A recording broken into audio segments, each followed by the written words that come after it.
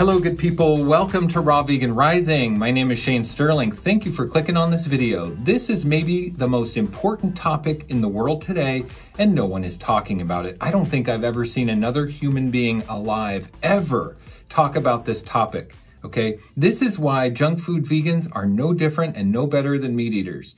Okay, now before I get started, I just would like to say that I've been a vegan since 1990, okay? I've had many years as a junk food vegan, and I've had many years as a healthy vegan, and I've also had many years as a meat eater. All right, so look, I've been on both sides. I see both sides. This is something else that I'm talking about, okay? So as I talk about this, why don't you chime in in the comments and tell me what your thoughts are on this topic. This is why meat, junk food vegans are no different than meat eaters, okay? it comes down to one simple thing. In the core of our being, we are still violent towards ourselves. When we are violent towards ourselves, through what we put in our body every single day and in our thoughts and in our actions, we're ultimately not ever able to escape violence, whether it's toward animals or humans or the homeless or children or any of it. We are part of the big system of violence that oppresses our world.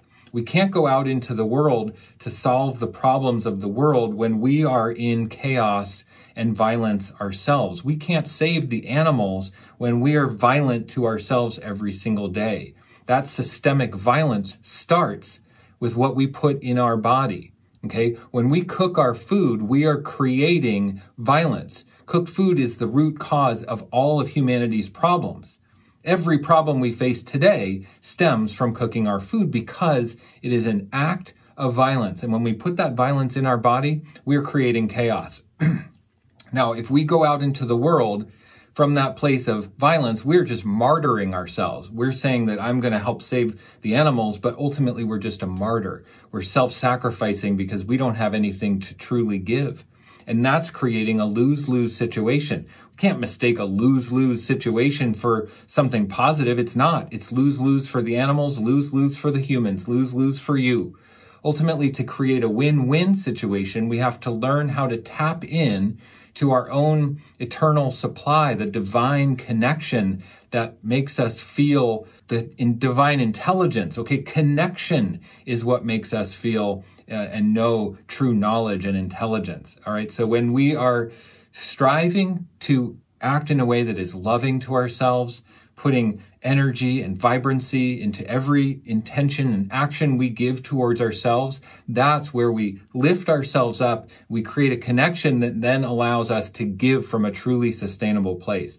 That's how we create win-win. Giving from a sustainable place of abundance, of overflow, of energy and vibrancy and beauty and joy and connection and peace. That can only come when we stop the violence towards ourselves. Okay, violence towards ourselves is negative self-talk, abusing our body with food. Okay, having the same problems that meat eaters have: low self-esteem, low um, self-worth, you know, diabetes and um, obesity and health problems. You know, we're, if we're struggling with all the same problems, we're not lifting ourselves up out of the problem. We can't fight the problem with the same level of thinking that created the problem. That's like trying to fight fire with fire.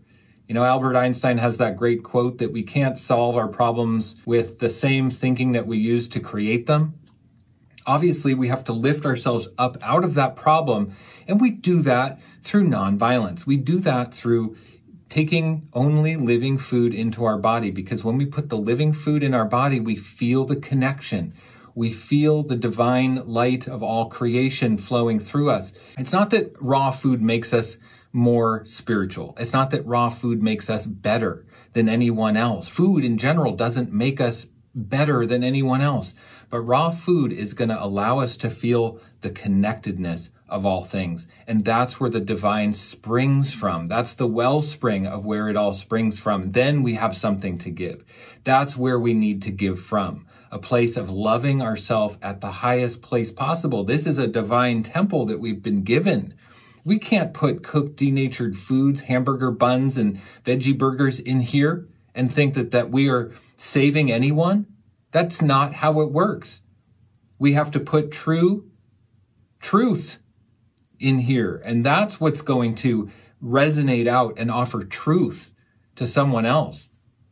So if ultimately, if we are a junk food vegan with good intentions to help animals and to save animals, but we're eating junk food, ultimately that violence will come out eventually. It'll come out in one way or another. We will go back to eating animals at some point. We won't be able to resist it because it's just the perpetuation of violence.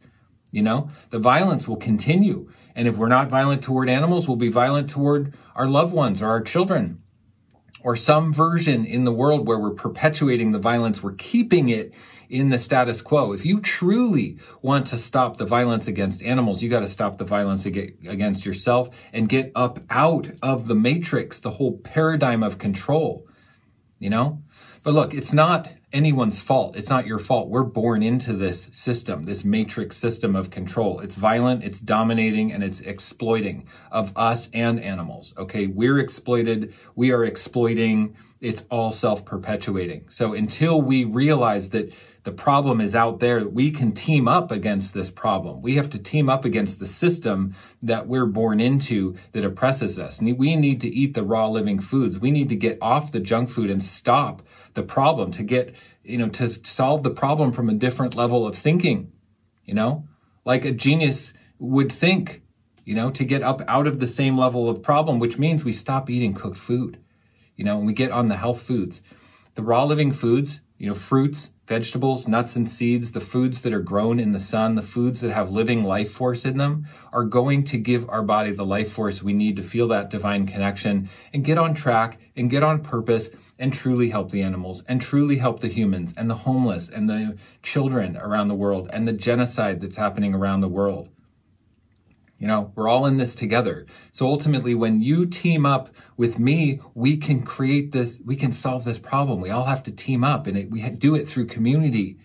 You know, we do it through coming together subversively. It's not out in the world. We can't just go be activists. There's too much oppression. We have to come together silently behind closed doors and talk about the real solution, which is what we put in our mouth every single day. This is where it starts, what we put in our mouth. Okay. So we need to help each other behind closed doors, silently, secretly, methodically, day by day, going after this, helping people become raw vegan, helping people get off of these addictive problem foods that create violence in our mind and violence in our world. So the way I have set this up is my group coaching program called Raw Vegan Heroes. Okay, this is a Facebook group. I'm the coach in there. There's uh, other members. There's about 130 members as of today when I'm making this video. People from all over the world. And these aren't people who are, you know, perfect vegans. These are people who are understanding this awakening that I'm talking about and want to come together and try to learn you know, try to learn how to become a vegan. I just had a gentleman join today who is pre diabetic. He's almost 40 years old. He is just learning about raw foods, but he's still eating meat and he doesn't want to be. He's pre diabetic. He's coming to the group and the membership to learn how to be vegan. He doesn't even have any idea, but we're going to do it together, you know, because this is what I'm committed to. This is how I'm helping to solve the problem. And um, it's a it's a really huge problem because this level of violence and this invisible ideology of our food is so ingrained that no one ever even realizes that putting a veggie burger in their mouth is violent and perpetuates the abuse of animals. But this is what I'm talking about. So you guys tell me what you think about what I'm saying. Are we going to really change, you know, the world by being violent towards ourselves with cooked food? Or do we really need to get off of the violence completely? So tell me what you think. Share with me, please. I really appreciate it. Just so you know, there is a link in the description for Raw Vegan Heroes, which is my group coaching program. Okay. It's $14.99 a month and there's no contract. You can join, try it out, and see if it's going to help you and serve you on this amazing journey of awakening. Okay. I know this is a big topic. I've been wanting to say this for a while. I really truly believe it in the core of my being. And this is ultimately just a service message. It's hard to say there's a lot of components to it, but I think it's the most important, most pressing topic to talk about in the world today. And if someone isn't talking about this topic, I don't think any of the other topics even matter. None of the politics in the world or the social issues or the social injustices even matter until we address the fact of what we are putting in our body every single day. Are we going to be part of the problem or part of the solution? And the solution is, you know, a big oppressive system that we need to get out of. We need to get out of this matrix through choosing raw living foods. That's my message. So I hope you like it. Give it a thumbs up if you like this message, right? And subscribe if you love this message. Subscribe to Raw Vegan Rising, my YouTube channel, okay? Much love to everyone. Blessings to you. I will see you in the next one.